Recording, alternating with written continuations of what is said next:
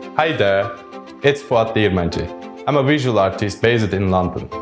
I just want to try to explain my last project, Minimal Renaissance.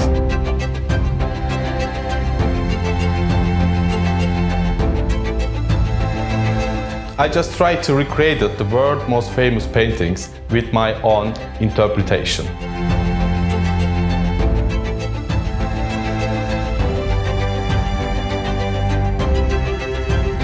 With the project, I want to reproduce these works in a minimal, simpler way with digitally created traditional brush strokes.